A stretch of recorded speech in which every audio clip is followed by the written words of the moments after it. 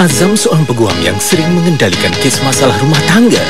Sehingga dia sendiri takut untuk berumah tangga. Namun dia bersetuju untuk dijodohkan dengan Maria, seorang gadis kampung. Kecoh jadinya apabila Maria digoda Yusuf, sepupu Azam sendiri.